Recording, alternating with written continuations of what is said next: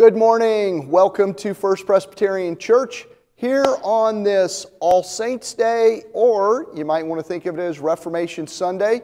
Yesterday, October 31st, it's Reformation Day. For those of you who don't know, Reforma- uh, it's called Reformation Day because in 1517, on October 31st, Martin Luther went and he nailed 95 theses on the door of church in Wittenberg, and that was the beginning, if you will, of the Protestant Reformation, and he probably had no clue that's what he was pushing into action. But we kind of look back as that being the starting point of the Reformation, and Presbyterians are strongly a part of the Reformed tradition. That is at the heart of who we are. So, welcome on this Reformation Sunday. There are a few things this week that are different than normal. We don't have anything on the day it normally would happen. there is no yoga on Tuesday night. Um, we have it on Wednesday night. Uh, a little personal privilege for me. Tuesday night is my 30th anniversary and uh, I'm going to bump yoga back a day so I can spend the evening with my wife celebrating our anniversary. Uh, but no, the Wednesday at 6:30 we will have yoga, and then Thursday at 6 o'clock is our regularly scheduled session meeting. So session members, please note that, and I will be sending out a link to you later in the week. You might have noticed this morning we are set up for communion. It is Communion Sunday. I just wanted to point that out real quickly so that if you'd like, you could pause the video now and go get whatever you need as communion elements for later in the service. Maybe a bit of juice, something to drink, some bread, some crackers, something like that. And that way, when we get to it during worship, you can just move right into it and we don't have to interrupt the flow of worship, but you can enjoy the sacrament while you're in that kind of holy space of having sung praises, listening, and having listened to God's word. So pause the video now if you need to go get some uh, elements for communion. And now we need to kind of switch gears, right? Because We've been busy having a week full of activity building up to Halloween yesterday, and maybe our minds and hearts are in different places uh, than worship. So, to bring us kind of home to worship, if you will, I'm going to light these candles as a sign of Christ present with us. Nice new fresh candles.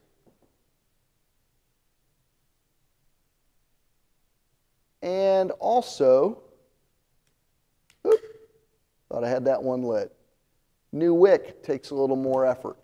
Um, and also, one thing that's become kind of a custom for these online services is to draw our hearts and minds together by just taking a big collective deep breath together. And it's also a way to kind of slow down, settle down. Breathing is one way we can move our emotions into a kind of a leveler place.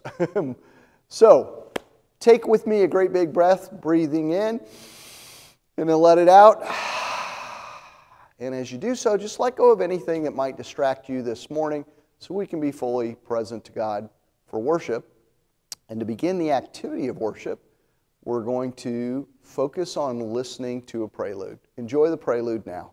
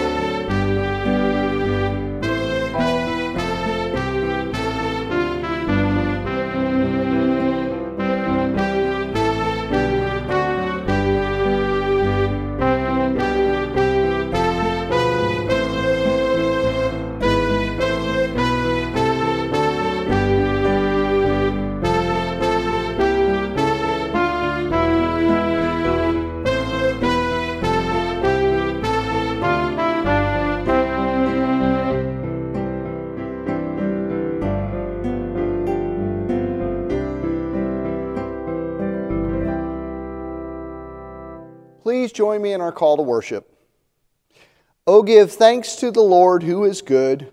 God's steadfast love endures forever. Let the redeemed of the Lord say so. God's steadfast love endures forever.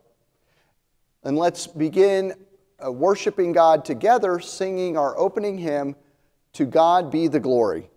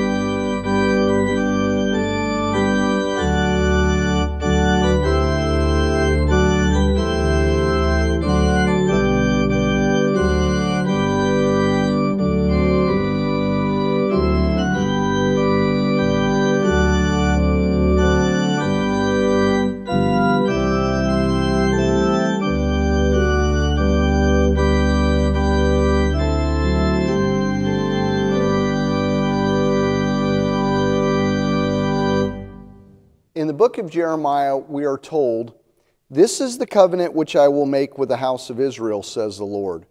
I will put my law within them, I will write it upon their hearts, and I will be their God, and they shall be my people. I will forgive their evil deeds, and I will remember their sin no more. Friends, let's come before God confessing our sins using this prayer, saying, Lord God, only you are holy. Yet we imagine that we are righteous, excusing our own faults while pointing out those of others. We are quick to lay burdens upon our neighbors, but slow to help with their own. We take credit and give blame. In spite of grace you have shown to us, we are slow to show mercy. Forgive us, O God, and wash us clean, that we may serve you with joy and thanksgiving and let us now silently confess our sins before God.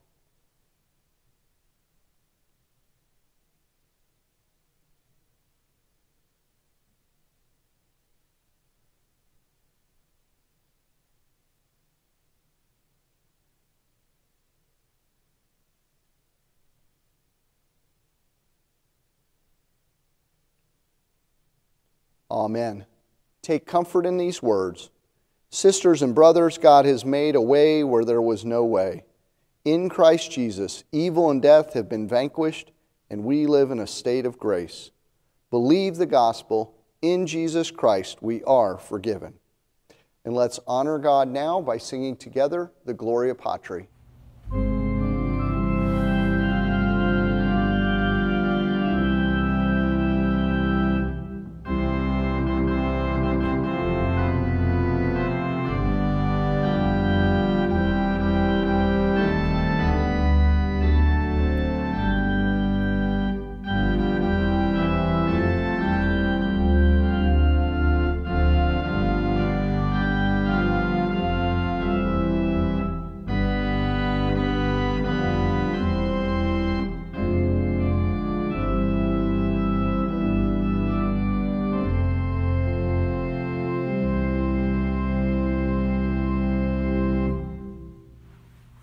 Please join me in affirming what we believe using the Apostles' Creed, saying, I believe in God the Father Almighty, maker of heaven and earth, and in Jesus Christ, his only Son, our Lord, who was conceived by the Holy Ghost, born of the Virgin Mary, suffered under Pontius Pilate, was crucified, dead, and buried. He descended into hell. The third day he rose again from the dead. He ascended into heaven and sitteth on the right hand of God the Father Almighty. From thence he shall come to judge the quick and the dead. I believe in the Holy Ghost, the Holy Catholic Church, the communion of saints, the forgiveness of sins, the resurrection of the body, and the life everlasting. Amen. I invite you to join me in prayer before we look at God's holy word this morning. Most gracious God, we've been given a tremendous gift in the gift of your holy word. Thank you so much. As we turn our attention to it, may the Holy Spirit guide and lead our listening, and may the Holy Spirit anoint the words of my mouth that they may give you glory, honor, and praise ultimately, and help us to follow you more deeply. In Christ's name we pray these things. Amen. All right, we're going to read this morning uh, Psalm 43 as our Old Testament lesson. I invite you to join me in doing so.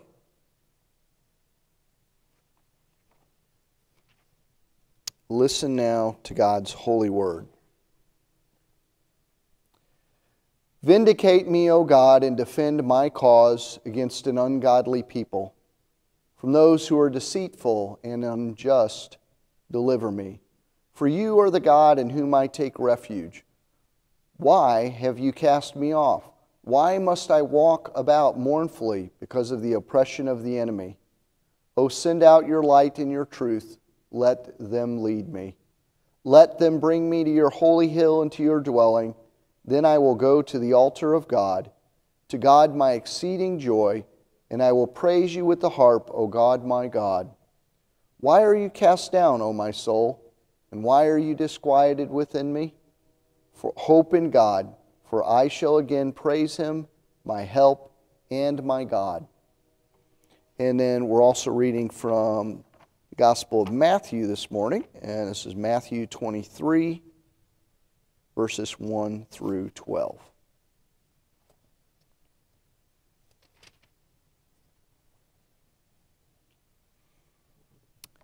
Then Jesus said to the crowds and to his disciples, The scribes and the Pharisees sit on Moses' seat.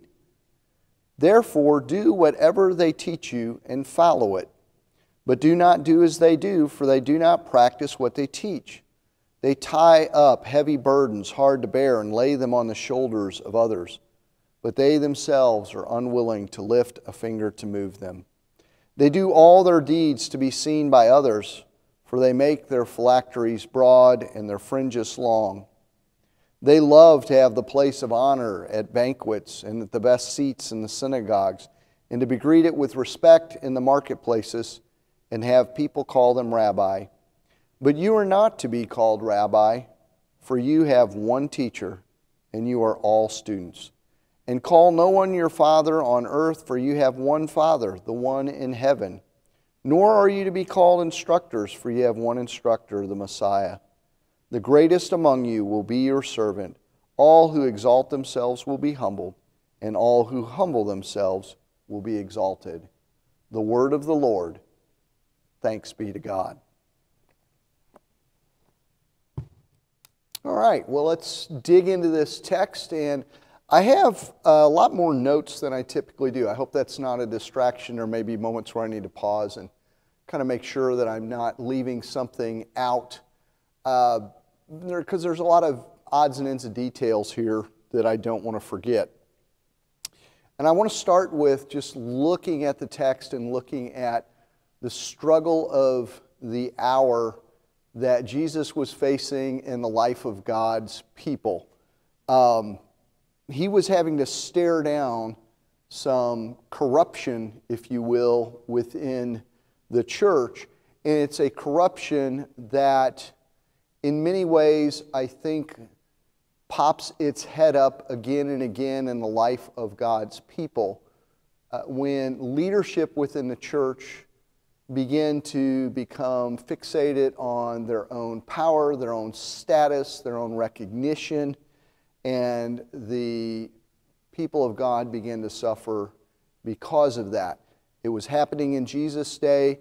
It was at the heart of the Reformation, and I'm going to spend some time on the Reformation if you're not real familiar with that, because today is Reformation Sunday. We stand a day after, uh, as I mentioned earlier, a day after the anniversary of Martin Luther, young man back in the 1500s, nailing to the door of a church in Wittenberg 95 essentially reforms that needed to be made or attacks on things that were going on that he felt were heretical.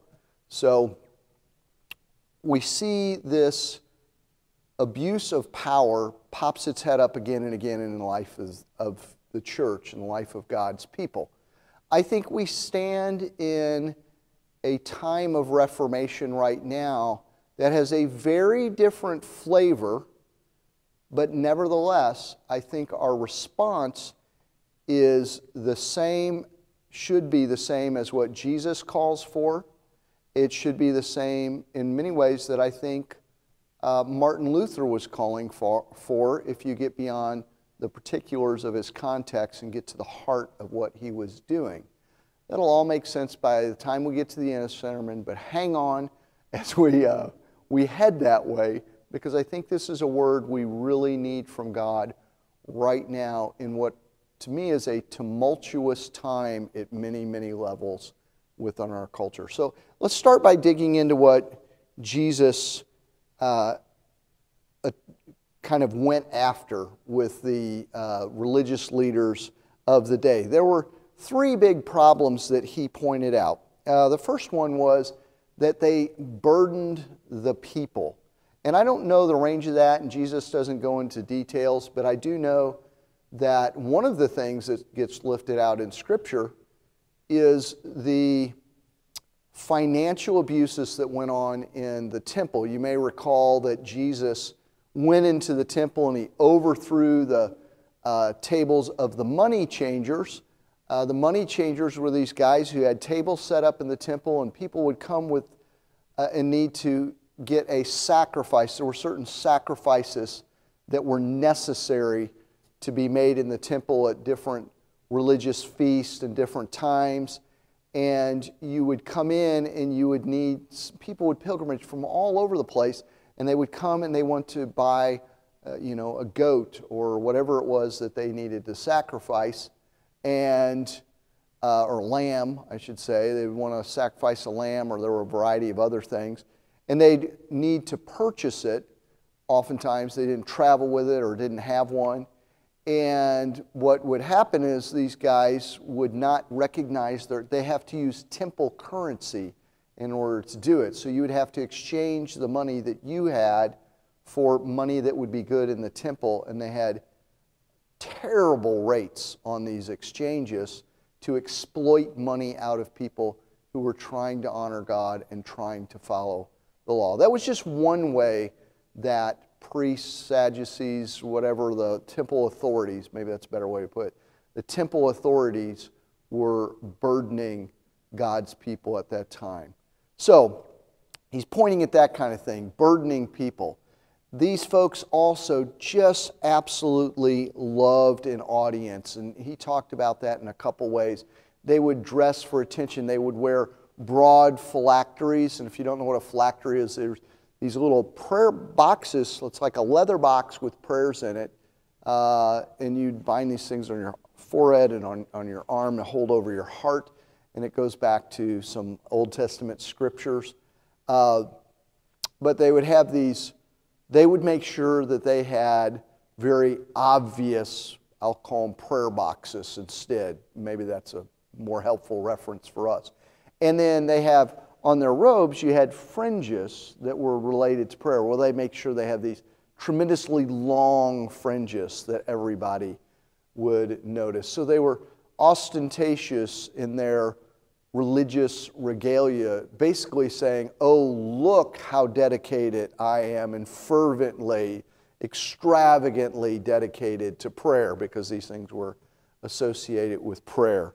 And they loved to be in the marketplace and have people recognize them and call them rabbi and, and just revel in the status that they had, making sure they had the best seats in the marketplace. They had the best seats in the synagogue where everyone would see them and know by their position that they were someone who was very, very important. Now, the strange thing is, is it sounds like they actually were teaching good things because Jesus said, do what they tell you, all right? Practice what they're teaching, but don't behave like them. Because their walk obviously wasn't matching their talk. Their walk was all about what would bring attention to them and gave them power and authority over other people. And Jesus said, you know, basically, ignore that nonsense. Don't get caught up in that. I want you to focus on basically two things.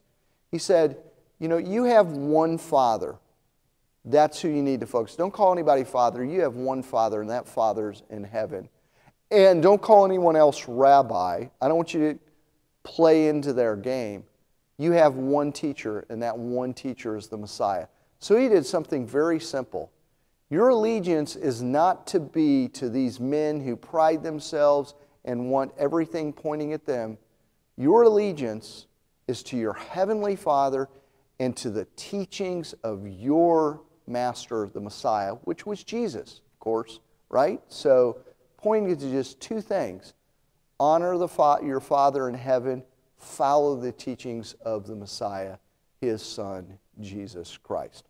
Hold on to that, this wholehearted allegiance to Christ and to God, and not being caught up in that. Hold on to that thought because we're going to come back to it in a moment. So, all of this said, to me, it's really fitting that this passage shows up on a Sunday that we consider Reformation Sunday because this was so much the story in many ways in the 1500s when Martin Luther finally had had it with the leadership of his days. So, what were some of the struggles going on? And you got to remember in both these situations, and this is really important, this is where I'm going to show how our situation is similar but different. In both these situations, the, in Jesus' time and in the Reformation, civic authority and ecclesiastical church authority, if you will, those things weren't intertwined. You did not have this separation of church and state that we have. Religious leaders had civic power and influence. That is different now today. So that's important to note. But in Martin Luther's time, that division was not in place yet. So part of the struggle was the struggle between papal power and emperors and princes. So these people who had, I'll call it governmental power, which is even hard to separate that way because the Pope had governmental power in a lot of ways. But the religious authorities and these princes and emperors of the hour in Germany, particularly, we'll just focus on Germany, but this kind of held true in a lot of Europe. Uh, there was great struggle for power between them. Part of the issue was that the church owned uh, about a fifth to a third of the land in Europe, depending on which country you were in. They owned huge, huge, huge tracts of land. They owned it tax free. They had no taxes, and they, but they could ex- they could extract taxes and fees and all kinds of things from the peasants and the peoples who lived on that land. There was a huge disparity between the haves and the have nots, and the religious authorities were in the former place. They were the haves, right? And they, and they wielded that power very, very, very abusively. There were a couple um, particular things. Um, there was what was known as uh, simony, simony, clerical simony. Uh, what that practice was, was it was being able to buy a clerical office, a church office, so that you had authority over a region. Uh, and in a moment, you're going to hear this particular issue was one of the ones that threw Martin Luther over the edge. When you pair it with another problem, and that was that there was this thing going on called the sale of indulgences. And without going into a whole bunch of detail, in short, by making contributions to the church, you could alleviate someone's, you could avoid being in purgatory, this holding zone between life and hell if you were headed to hell, and you could alleviate your time there or perhaps avoid time in purgatory by making contributions. And not only that, but then they extended it to dead people. If your mom or your dad or one of your family members was dead and were in purgatory, you could make these contributions and as a result have their, their misery reduced or eliminated. And and there it just went, the list went on and on and on. There also, the veneration of saints had gotten to an, an idolatrous level. Priests were, uh, there were all kinds of problem with priests. Many of them had uh, all kinds of affairs or relationships they had no business having. Uh, there were people who held offices but effectively did nothing in it. They just wanted the position of power, but they didn't actually do what they were supposed to do. Uh, and they would hold multiple offices when they should have been able to hold only one. So, all of that said, all this was brewing and stewing, and then there was a, an event that was kind of the perfect storm of these things that threw Martin Luther over the edge. There was a man uh, named Albrecht of Brandenburg. And Albrecht in Brandenburg was brilliant entrepreneur but an ethical stake in the grass. because what Albrecht of Brandenburg did, what he, he borrowed money from a bank. So he gets this money from the Bank of Augsburg, and he takes that money to then buy his way into being the Archbishop of a place called Mainz, the Archbishop of Magdeburg, and the Bishop of Halberstadt. So he bought himself three different offices. And then, so now he has to pay back these loans, right?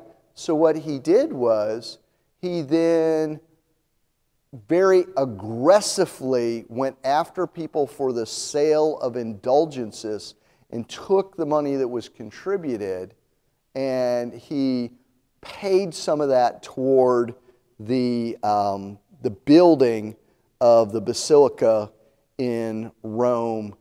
And, you know, this, it was just such a heinous, corrupt mess. And Martin Luther got wind of this guy who borrowed money and then basically extracted money in a completely unethical, and immoral practice from people to pay that money back so he could have power over these regions and continue to then continue to extract money and just make himself a fat, wealthy cat lorded over other people.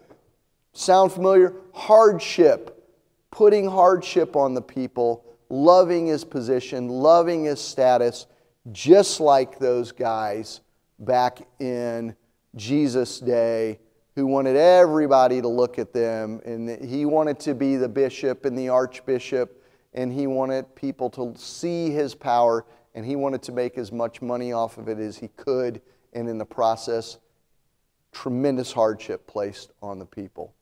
And this was, it, it got to a point a few years after Martin Luther nailed the 90, that, that, that event was the catalyst for Martin Luther saying something has to be said, and he 90, nailed these 95 theses on the door. It went on, it became a bloodbath a number of years later, peasants in some of these lands laid out some kind of demands, if you will. And they were simple things like We want to be able to hunt on the land that we live on. They were literally starving to death because the owners of those lands, whether they were princes or they were bishops or they were the church or whatever, they would say, no, all, anything that lives on that land, that's ours. You can't hunt it. And if they hunted it, they were considered poachers and they were killed or fined or, you know, these guys couldn't eat. They couldn't eat. It was just one simple thing. There were many, many, many things like that. There were hardships they were facing, and they spoke out against them in an extremely short amount of time. About 100,000 of about 300,000 peasants were slaughtered to push down that revolt. So, this, this whole Reformation business was not just a battle of ideas, it was bloody and it was painful. So, let's move on. You got a picture of the hardship and the abuse of power and how the kind of things that Jesus was battling, it's like all those ills were on steroids in the Reformation.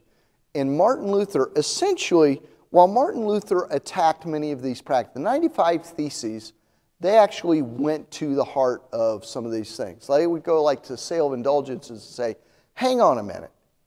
The Pope can't give what God already freely give, gives to someone with a contrite heart. And basically said, you don't need to be paying for that business because God freely gives it. Okay, that's like the type of thing he was doing. But at the end of the day, what the reformers did was they pointed people back to the basics. They pointed them away from these leaders, they pointed them away from all of these bishops and archbishops and even the Pope and said, No, we need to return to God and we need to return to Jesus Christ. And one of the things that emerged out of the Reformation were what were called the five solas. And I'm just going to hit them very, very quickly, so don't worry, this sermon's not going to go on forever. But there was sola, sola scriptura, which meant the Bible. Only the Bible needs to be our authority. All other authority is beneath Scripture. And so they pointed to Scripture as the highest authority. Sola fide, which was faith alone, that we are saved uh, through faith alone in Jesus Christ. That's it. There, we can, you, can't, you can't buy it, you can't work your way into it. Your salvation only comes through faith alone and by grace of Jesus Christ. Sola gratia. So, Scripture alone, faith alone, grace alone. And then lastly, and these two just nail on, hit the nail on the head of what Jesus was pounding on, and that was sola, solus Christus, which was Christ alone.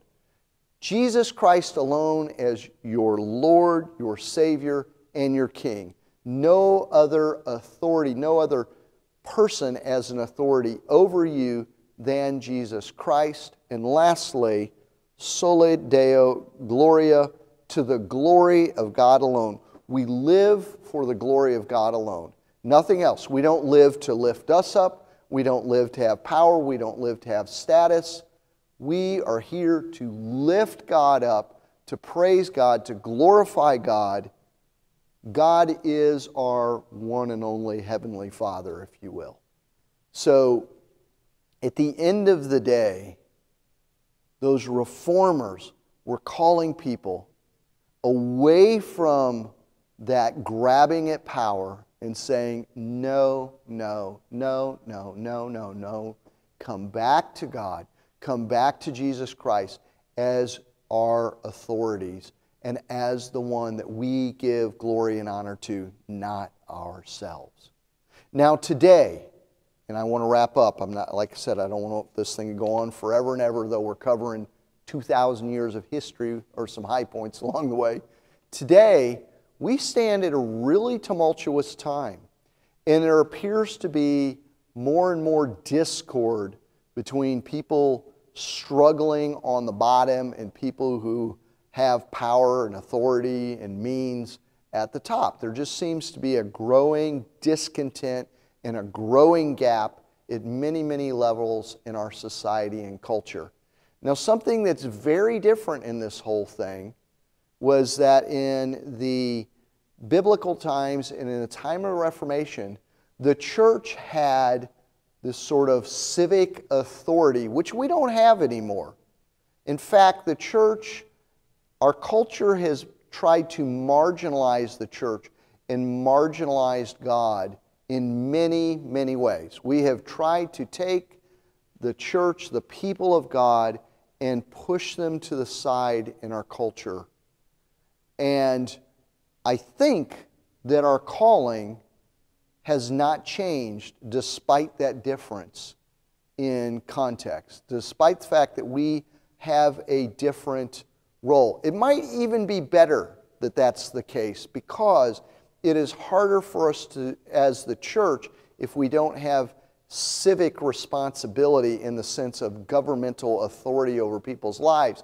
It is much harder for us to be caught up in some of those abuses. We can still abuse who we are and what we are, and religious leaders could try to point to themselves and take advantage of people, and that does happen in the church.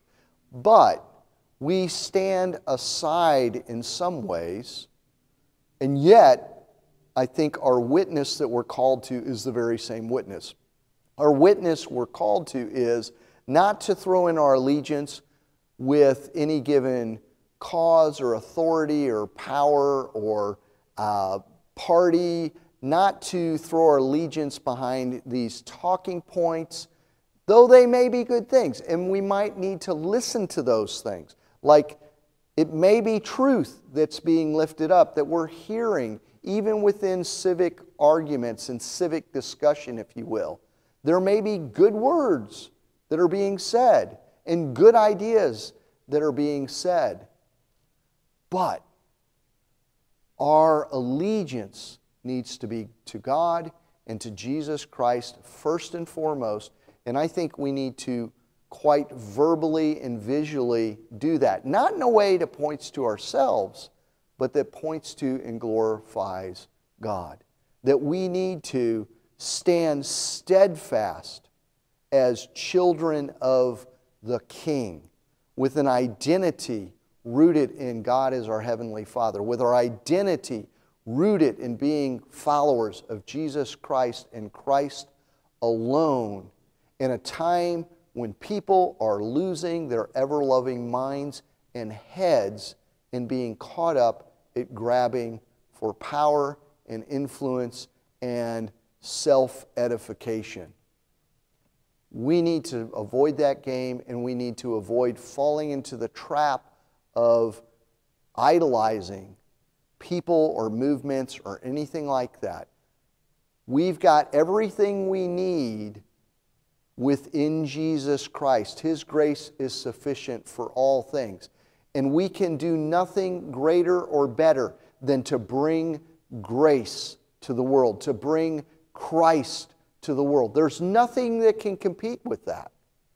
So let us stand steadfast steadfast to being witnesses to the gospel in tumultuous times. Praise be to God that God would honor us with the opportunity to do that. Amen. Let's join in prayer. Holy God, we have an amazing amount of freedom. In Jesus' day, people who spoke up against the religious authorities got crucified, as Jesus did. People in Martin Luther's time who stood up and spoke out about the burdens that were being placed upon them by the religious authorities of that hour, they were slaughtered. We stand in a time where we have burdens on people's backs that ought not be there. Some of it has happened just because of circumstance, because we have a pandemic and it's tearing things up economically. And there's no one to blame for that. That's part of just life. Some of those things are happening because of the exploitation of people in businesses or who just they're taking advantage of a terrible situation. Shame on them, and God let us not get caught up in being a part of that. But God, we have tremendous freedom. If we speak up about things that are untruths, if we speak up about burdens that are being placed on people, we're going to take some hits, there's no doubt about it. We are going to struggle within the culture around us, and we may be shamed, but odds are we're not going to lose our life over it, not our physical life. And even if we did, Lord, Paul, who, when his life hung in a tenuous balance and was threatened, Paul said, you know, to live as Christ, to die is gain. Because he was a man of faith, he was a man of believer, and he, a man of belief, and he understood that your grace is sufficient for all things. We don't have to turn to anything else. Your grace is sufficient for all things. So, Lord, guide us, lead us to be steadfast in our allegiance to you, O Lord. We may listen to the message that is brought in some of what is being is moving right now in our culture. There are voices who are speaking truth, and they may not even be within the church. They're just calling out and they're hitting the right notes. And if that's the case, then we need to do as we hear, but again, not follow the example of people who are abusing their power, not following the example of people who are acting in ways that are not Christ like, not submitting our allegiance to anything but you and your glory and following your Son's teaching. Again, thank you so much for making us members of your family. For that, we are truly blessed. In Jesus' name we pray. Amen. Well, folks, normally this is time in worship where there would be a communion plate up here and we would pass it around to folks, and we can't do that. So uh, I'm going to tell you two simple ways that you can give to support ministry here at First Presbyterian Church. And I also want to say a big thank you to everyone who has and continues to support us. Uh, first one is very simple. You can write a check and you can mail that to uh, P.O. Box 214. Walnut Ridge, Arkansas 72476. Or another simple, easy, and safe way to give is to go online to our website at fpcwalnutridge.org forward slash give. And when you go there, you're going to find a, a big button you press. And when you press that button, it's going to take you to a secure site where you can then enter your contribution information and make a tax deductible gift. So, again, thank you so much. And let's honor God for all the gifts God gives us by singing together now the doxology.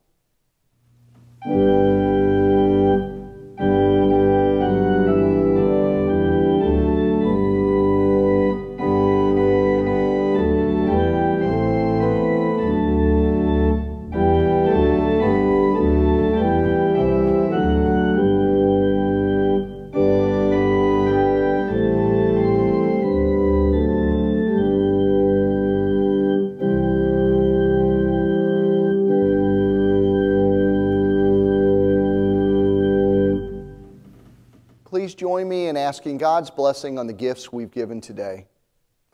Holy Lord, we have given you but a small portion of what we have received.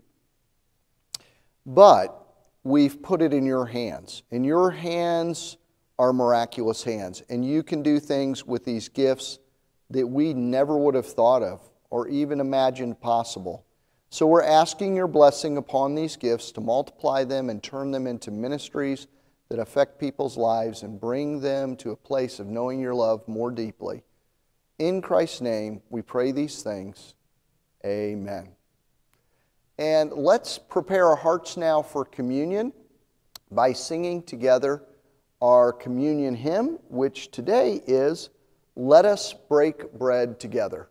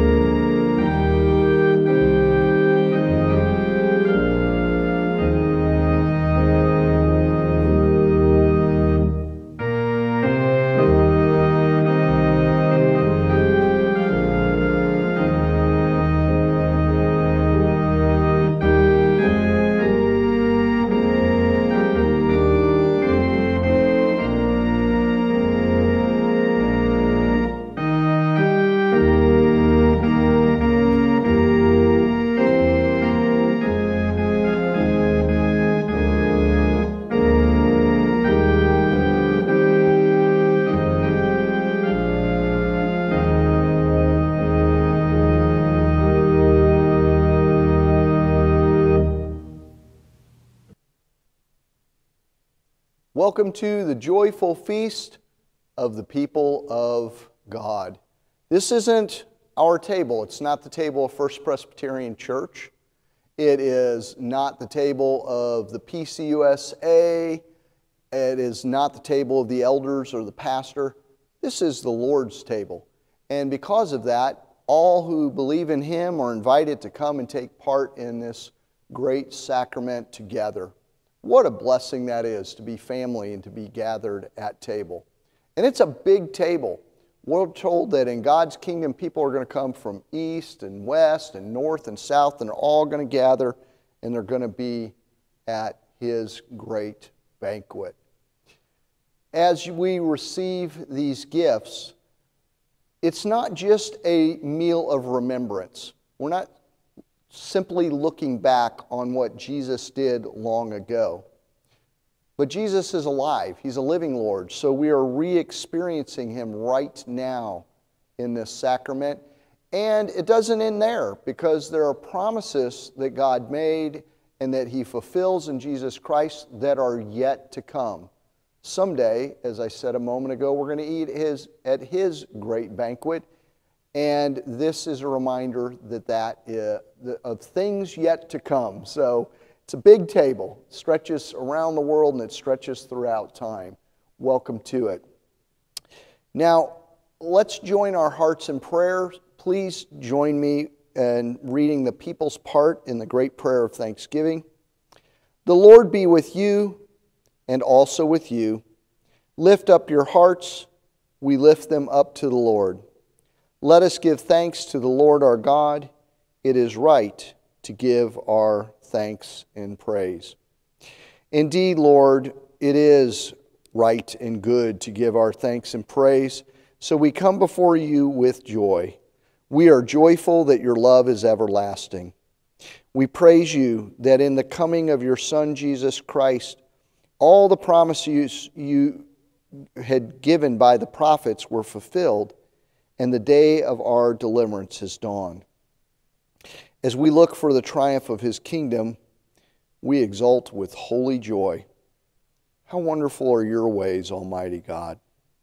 We praise you, most holy God, for sending your only Son, Jesus, to live among us, full of grace and truth.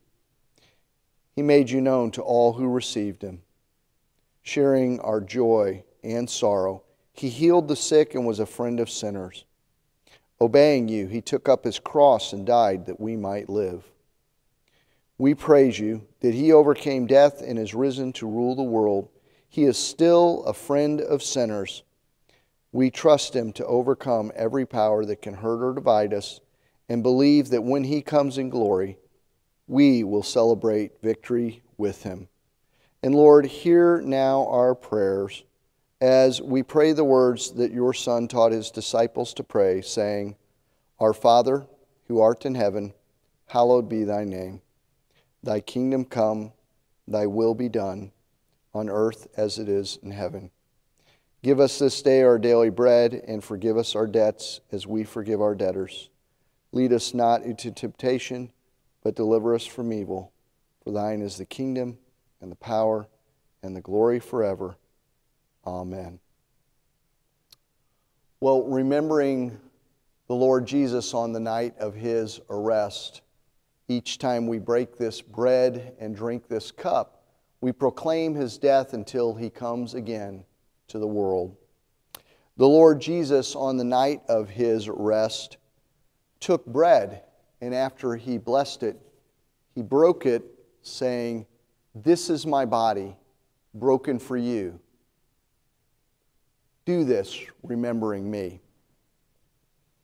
In a similar way, he took up the cup and said, This cup is the new covenant in my blood.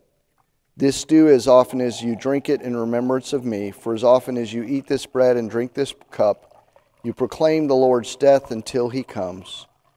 Jesus also said, I am the vine, you are the branches. Cut off from me, you can do nothing.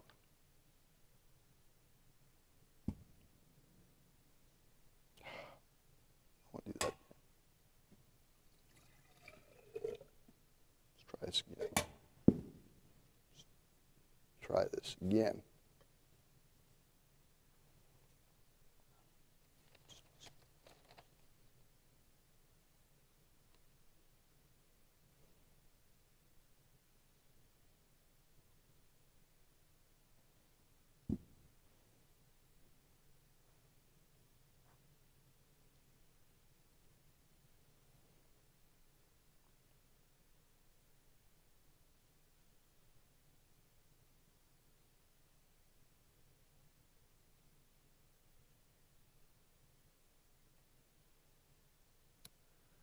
Remembering the Lord Jesus, we break this bread and we drink, drink this cup, proclaiming his life and death to all the nations until he comes again.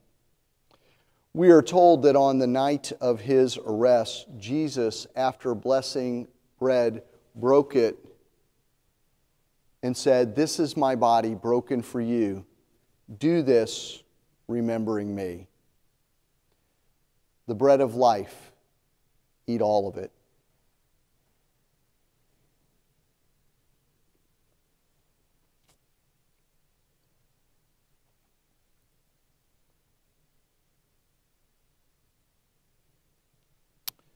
In a similar way, he took up the cup and said, This cup is the new covenant in my blood. This do as often as you drink it in remembrance of me. For as often as you eat this bread and drink this cup, you proclaim the Lord's death until he comes. Jesus also said, I am the vine, you are the branches. Cut off from me, you can do nothing. A cup of salvation, drink all of it.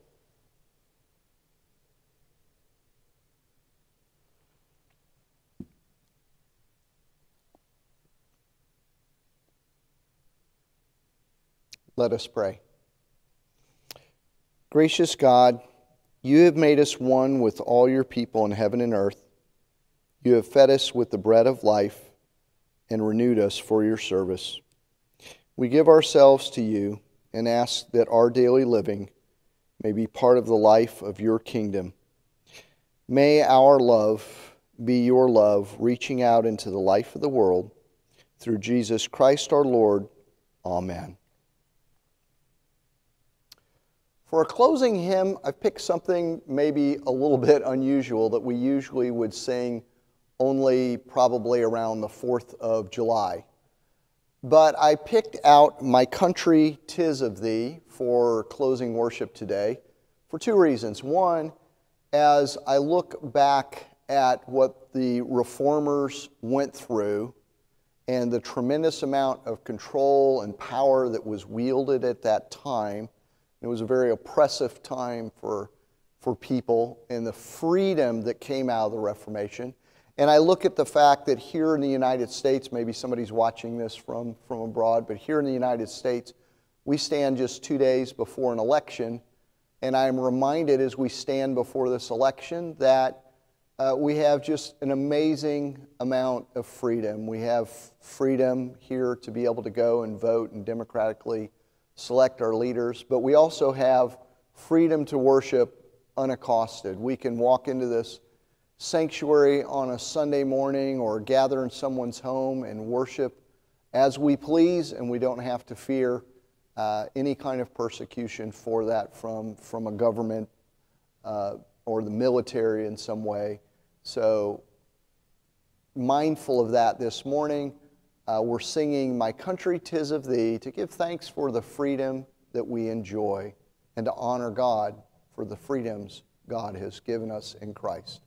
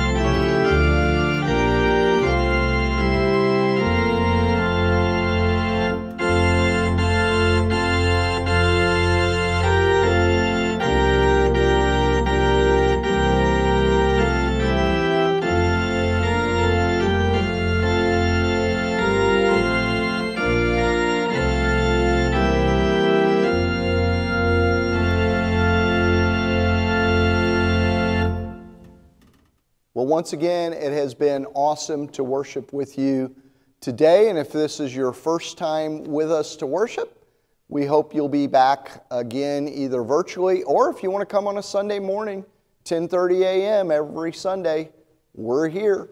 Uh, we'd love to have you. Uh, if this has been a blessing, uh, before we go, I would encourage you to wherever you're watching it, press a share button, maybe send it to a friend uh, copy the link, drop it in an email or text to somebody who needs a blessing today. And what a wonderful, simple, easy way to spread uh, the goodness you have felt today in encountering God. So now, as we go forth from this place, be encouraged. We have a big, an amazing, a wondrous God who transforms the world through common everyday folk just like us. He's not done with us yet. So, as you go forth this week, know that the love of God the Father, the fellowship of the Holy Spirit, and the grace of our Lord Jesus Christ is with you in a powerful and a wondrous way. And all God's children said, Amen.